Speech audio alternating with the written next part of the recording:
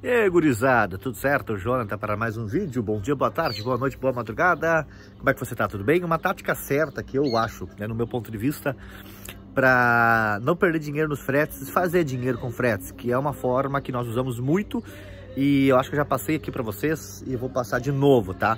Eu tô aqui, eh, almoçamos na casa dos meus pais agora, é, praticamente uma e meia da tarde agora. E o Jefferson chegou de viagem, o Jefferson foi a São Paulo, você sabe, ele carregou em São Cepé, encontrou o Mamute lá, né, apertaram as munhecas, tomaram um chimarrão, o Mamute mandou, ah, o Mamute mandou uma erva pra mim, tá lá dentro. Se tivesse lembrado, eu ia pegar na mão pra mostrar ela, mandou uma erva pra mim, obrigado Mamute. E o Jeff tá aqui, tá? Descarregou em Guarulhos, saiu de São Cepé, saiu de Campão, foi a São Cepé, carregou, subiu a Guarulhos, descarregou em Guarulhos.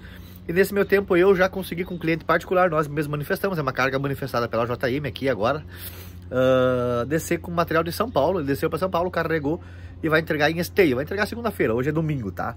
Tá aqui o material. Beleza? Já vou falar para você sobre isso. É uma máquina, são uma máquina dividida em três partes, tá? Uh, tem aqui embaixo, mais uma ali, tá vendo? Ó? Uma parte aqui e uma parte aqui. Bem isolado, com cordas, com cinta, certo? Protegeu da chuva, certo? Ficou assim, ó. Ali, ó. E aqui tá a parte da frente, né? O João não mandou fazer ainda. Que coisa mais feia. A gente vai ter que fazer isso o mais rápido possível. É, acho que uns 350, 400 reais fácil. Tá. Ficou assim ali, ó. Tá. Uh... Beleza? E aqui, casinha. Onde meu pai mora. Lembra que a gente comprou essa casa meia? Meu pai mora aqui. Sei agora, daqui a uns dois meses. Eh pode ser que, que eles se mudem e a gente aluga aqui. Não sei como é que vai ser. Né? Graças a Deus, Deus preparou uma casa, uma outra casa que eles compraram, onde eu comprei também. Acho que até comentei uma vez com vocês. Daqui a dois meses vai estar liberado, a casa tá, tá, tá pronta já. Inclusive agora de tarde a gente vai lá ver por dentro como é que tá. E é uma bênção de Deus. Mas enfim, falando sobre isso daqui, ó. A maneira certa de não perder dinheiro nos transportes é você subir com o material para quem trabalha muito com dedicado, né? Isso, não, isso daqui ó, não vale para quem trabalha regional, tá? Isso aqui vale para quem trabalha com dedicado. Tu sobe com dedicado, esse dedicado já está sendo pago para subir e voltar vazio. Mas daí você sobe, o que te custa ficar ali, ó, você o motorista ficar um dia ali, ó, para conseguir uma carga de volta? Ah, mas eu quero estar de volta para a família. É, mas daí não vale muito a pena você trabalhar com dedicado, se você pensar assim, tá? Você tem que trabalhar para fazer dinheiro. Então você sobe e ali, ó, você tenta uma carga de volta.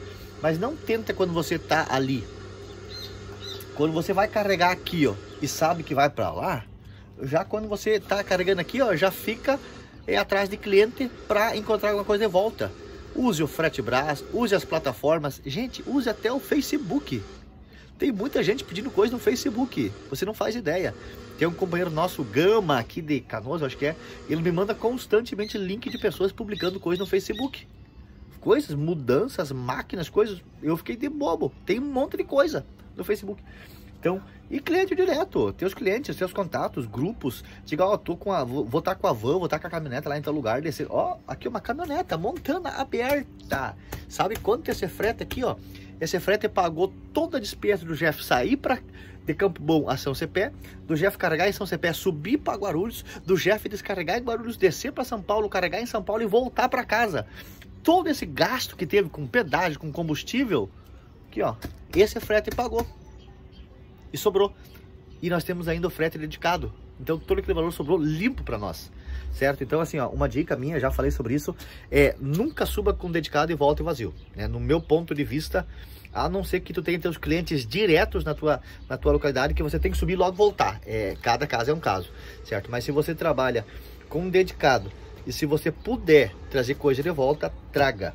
Traga, traga, traga. Negocie valor e traga, que é ali que está o dinheiro, beleza?